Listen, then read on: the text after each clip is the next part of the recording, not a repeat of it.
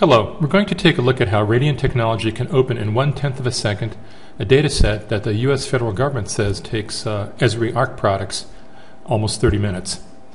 Uh, that sounds astonishing, but let's uh, take a let's take a close look. We're looking at Manifold Viewer, a desktop for Manifold Viewer, which is the free version of Radian Studio. We're going to use Manifold Viewer so that uh, you can try this at home by downloading a free product. I'm going to click File, Open, and this is the data set that we're going to open. It's a bathymetry data set for the Gulf of Mexico. That's 7.5 gigabytes. It's in radian.map format. Let's click open and see how long it takes. Remember, this takes 30 minutes according to the US government in uh, Esri products. One, two, three, click. There, it's done. In fact, it opened that data set in a tenth of a second, uh, quicker than I could than my finger could come off the top of the mouse. Let's now see how quickly I can visualize all this data. Again, it's about 7.5 gigabytes of data. I'm going to double click on this map component here to open it. One, two, three, double click. There, it's done. Uh, again, as you can see, that's uh, instant. Uh, Radian map format is extremely fast. Uh, it's, uh, and we're looking at this with a fully parallel system, both of which are advantages. Now, the backstory to this, why we're trying this, is that uh, a little while ago on Reddit, in the GIS subreddit, there was a talk about this a wonderful new data set that the federal government published, which shows bathymetry, that is, underwater depths uh, for the underwater terrain off the Gulf of Mexico. And what we're looking at here is the geology of salt domes and such. And people were uh, rightfully excited about the data. It was unprecedented detail, the, the, finest, most detailed data set ever like this ever published by the U.S. government. But when you go to the uh, federal government website to download the data, the government there warns you that if you want to download it in ARC format for uh, uh Esri products, uh, it could take up to 30 minutes to open the data. Now that struck us as astonishing because Esri products are very good products uh, you know, rightfully respected around the world. So uh, we couldn't believe it would take that long, even though this is a rather large data set. So we decided to try it and see how long it would take in Radian. And the answer is that uh, once you import it into Radian, which takes a couple minutes, and then write out the, uh, the data set in, in, a Radian map format, which takes no time at all, uh, then you can then you can take that map and open it in Radian or open it somewhere else. That's the ana- an analogous format to Esri's own native format and it takes only a tenth of a second to open it. so the difference is quite dramatic. Let's take a look at what we're, uh, what we're seeing here and what we're working with. What we're working with is a map here, and a map is, uh, you can click that off or click that back on. A map is a uh, Radian uh, component which is uh, has layers in it. And here there's two layers. There's a, uh, a layer here above the other layer. This is the, this is the western half of the data set and that's the eastern half of the data set. We can double click a layer on and off. And uh, what are these data sets? We can open them up, not just in the map, but we can also open them on their own. So we can double click on the, on the western image, western raster data set. And uh, if we right click on the properties, we can see that what we have here is a component that takes as data, it's tiles from this table full of tiles. So the actual raster display it doesn't contain any data in this thing here. That's just a window, as it were, into the uh, a visualization of this table that's full of tiles. If we double click the table open, we can, uh, let's control to jump to the end of the table, and see that it's made up of uh, lots and lots of tiles. To get information about that table, we can click on the info pane, and we see that this table uh, is full of tiles and it has uh, 97,825 records. So there's 97,825 tiles. And each of those tiles is 128 by 64 pixels.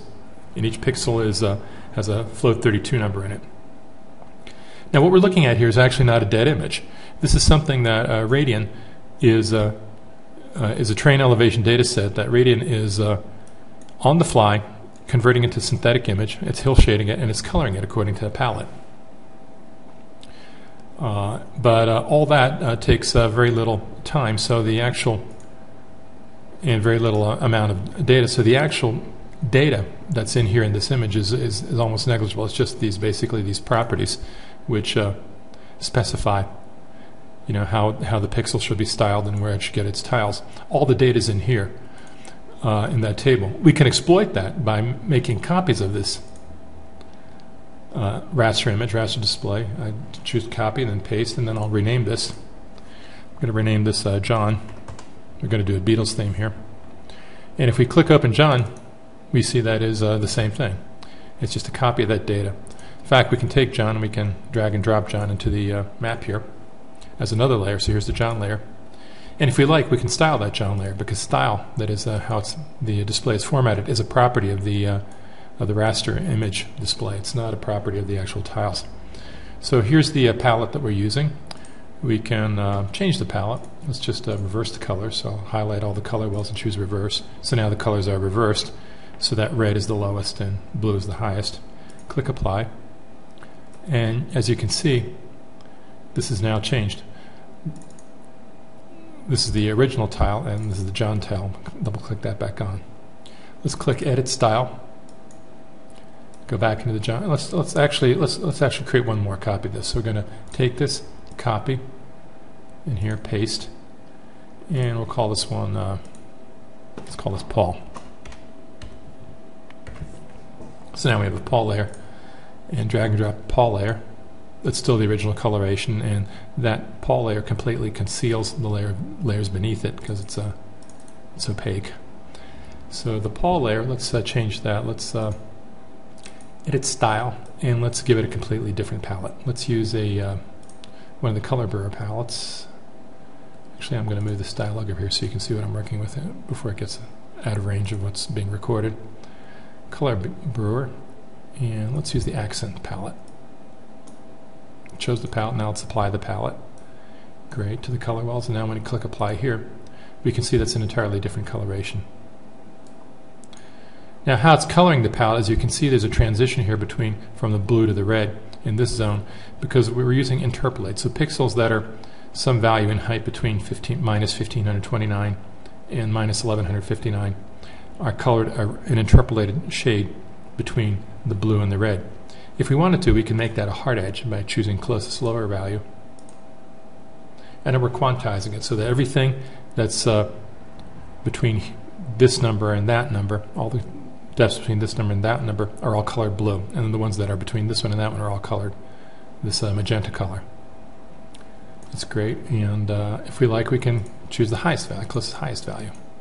That's a different way, way of quantizing it. Makes for a pretty cool display. And of course, because all this is a property of the particular layer, of the Paul layer, which you can double click open in its own window, uh, that hasn't changed the uh, palette we applied to the John layer or the palette that we applied to the original uh, layer. Because all these are just different ways of coloring the same data, which is coming from these tiles. The tiles, the data of the tiles itself is just terrain elevations. All this is being synthesized on the fly. Uh, now that's important to know because when it's all this is being synthesized on the fly, that's a lot of work for uh, seven gigabytes of data. It's not just taking a dead image and displaying it, which Radian, of course, could also do. Uh, let's do one other thing here. Let's take a look at what we're using here for uh, a projection. If we look at this, uh, any of these, we can see that edit, change projection. We can see they're in transverse Mercator. And if we look at the actual the map, let's close this. In. Here's the map image that we have zoom to fit. The map in image, if you look at the info, the coordinate system is also transverse Mercator. Uh, in uh, Radian and in Manifold Viewer, a map can have a different projection than the components that it shows.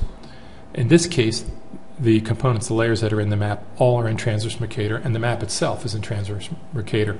So it's not doing any re reprojection. But the map could be in a different projection. The map could use, say, something like latitude and longitude unclick this layer, unclick that layer. So now we're looking at the two layers originally. Let's create another map, new map. And uh, when we click it open, it's uh, empty at first. Let's drag and drop the uh, western layer into it. Now let's drag and drop the eastern layer into it. And zoom to fit. And now let's change the projection of the map. The map projection, let's make it something else like latitude, longitude instead of transverse Mercator. Uh, as you can see from the coordinate system dialog here, Radian knows thousands of projections. It knows over 5,000 EPSG codes, for example. And you can do custom projections, and it knows hundreds, if not thousands, of standard ones. There's so many that the only way to find a projection that you're interested in is to use this filter box, where if I put in the letter L, it shows all the projections that have the letter L in them. If I put the letters LA, it shows all the projections that have the pattern LA, for example, anything with Finland or Canada, or excuse me, uh, Ireland. LAT shows projections that have the three letters LAT in sequence, and LATI reduces that down just the latitude and longitude projection. I'm going to click on that to select it, so we can see here the parameters it's going to use, WGS84 and all that. Click OK. And now that map is uh, in latitude and longitude projection.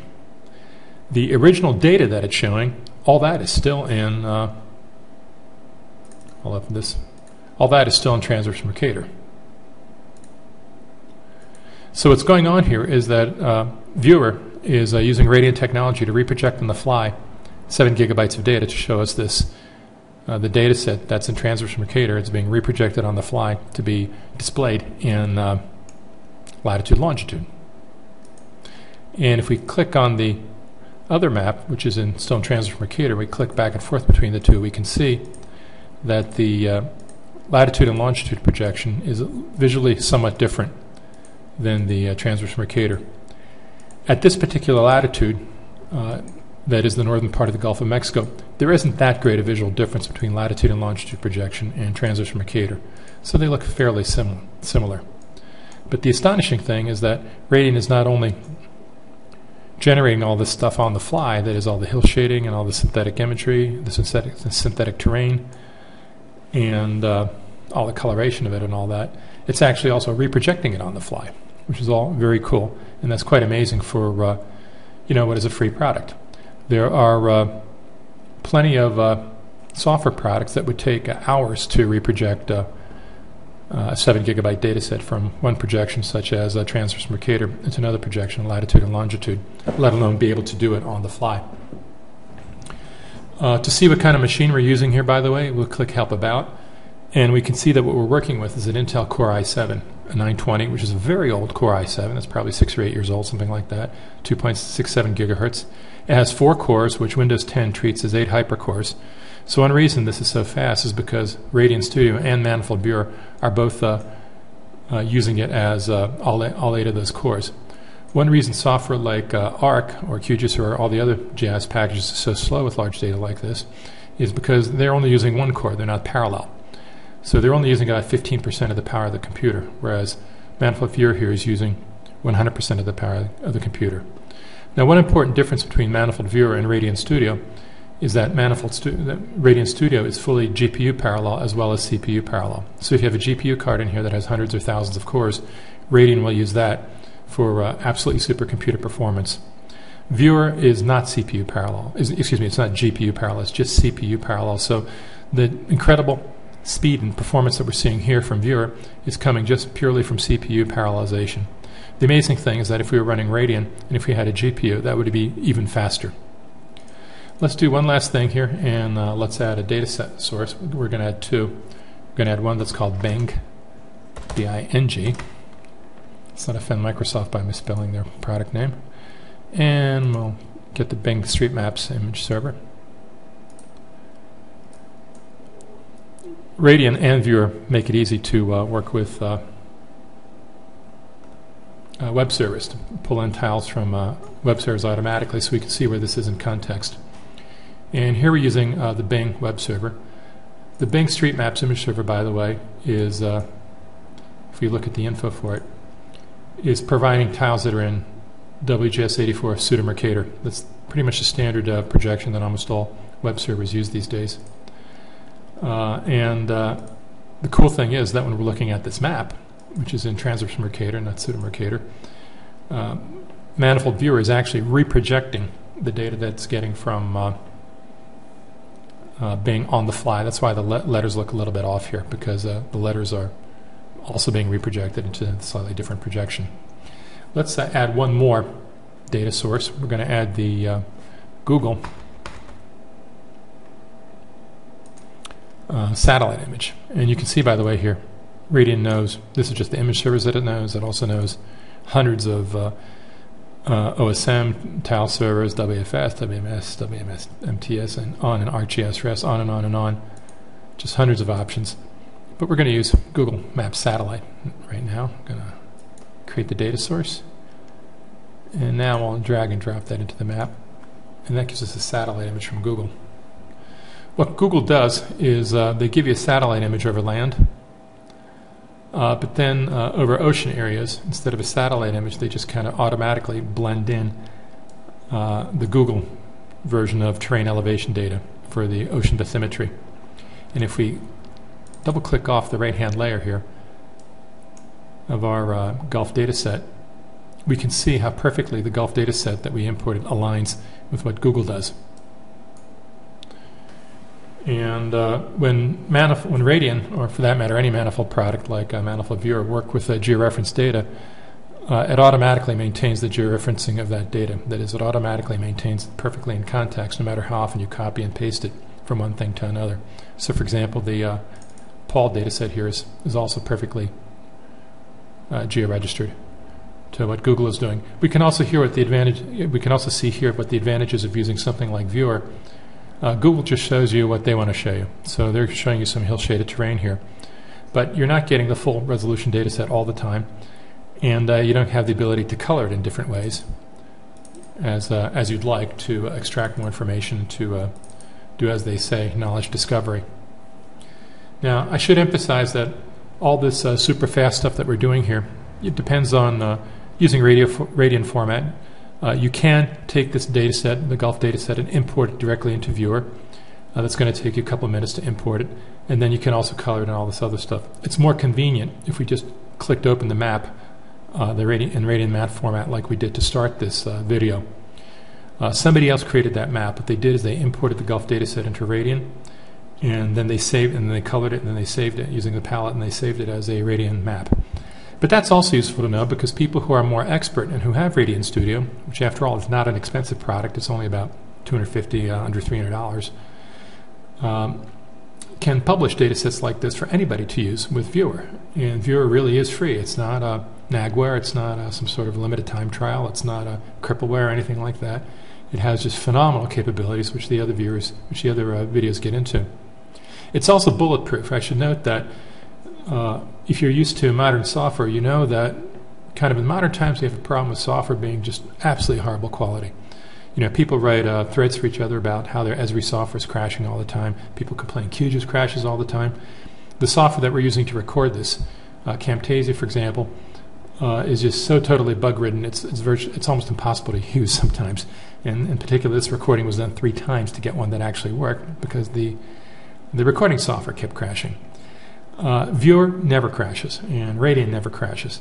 Now, I'm sure sooner or later it will crash because it is software after all. It was created by humans, so there's got to be some bugs in it. We know that. Uh, but in three years of beta testing, despite all the massively parallel, super duper complexity and full SQL and programming, uh, Studio never crashed, not once. And Viewer is Radian. It's just the read-only version of Radian. So as uh, improves, and as updates get issued for Radian, you get this for free with Viewer as well. So thanks for watching, and I hope you've enjoyed the tour. Uh, and uh, goodbye from Radianland. Well, that was fun. Uh, if you want to see more, visit us at www.manifold.net. Uh, as always, Manifold delivers the world's most advanced, highest quality spatial products for GIS and DBMS at a low price that you can afford. Once again, that's uh, manifold.net. See you soon.